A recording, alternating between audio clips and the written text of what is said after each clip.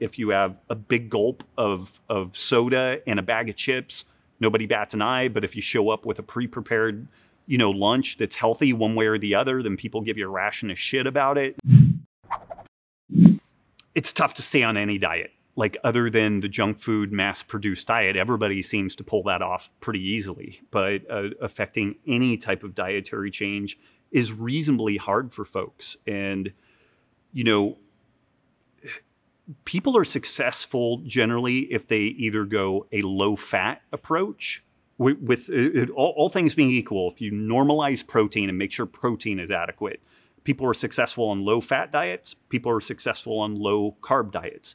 The people who are almost uniformly not successful from the perspective of losing weight and improving their health are the folks that are in that middle ground where they're trying to eat both fat and carbs at the same time and it, the, the reasons for that are, are, can get complex, but it really kind of boils down to the neuroregulation of appetite and how many flavor combinations that we can experience. If you pick one of these tracks, either low carb or low fat, it limits your palate options to some degree. Like ice cream and pizza are what they are because they're a combination of both fat and carbohydrate. And so when you pick one of these tracks, you kind of limit these fat carb combo foods, which tend to be very nutrient dense. They're easy to overeat. So the the reason why it's tough to to stick with that, it, you know, uh, culturally, a lot of these super tasty foods are are important for like family gatherings and celebrations.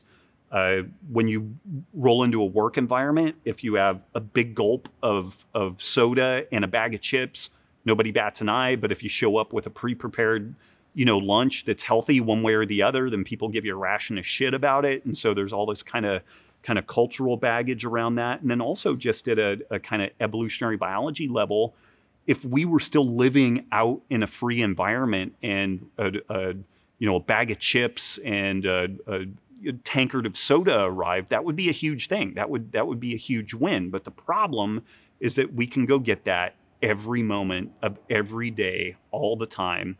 And so we just tend to overeat. So there's just a, a ton of different features about our modern world that make any type of diet and lifestyle change pretty challenging.